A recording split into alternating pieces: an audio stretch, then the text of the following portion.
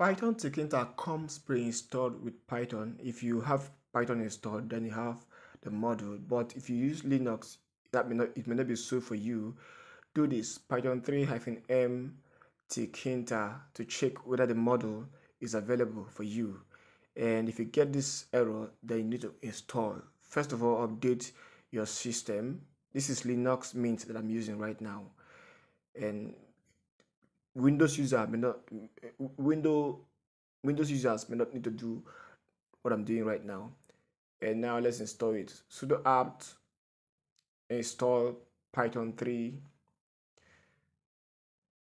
tk and run it y for yes enter and then it gets installed and this way the mod the module becomes available in, on your system this is what you need to do to get my to-do list app running. So right now let's check again. Python 3 m tkinter now it pops up this small window here. This is how you know that the module is working. It's available in your system and working right? I'm going to quit it.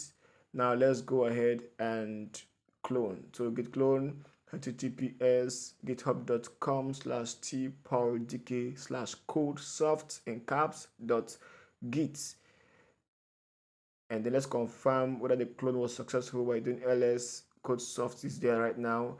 Next thing you want to do is navigate into the to do app directory. And here we go. We're inside there now. So just do dot forward slash the name of the app. That's it. And it's running. As simple as that. Another way to do it is to just do type in python 3 and the name of the and the name of the app. Then it works. You are inside the app. It's as simple as that Thank you for watching.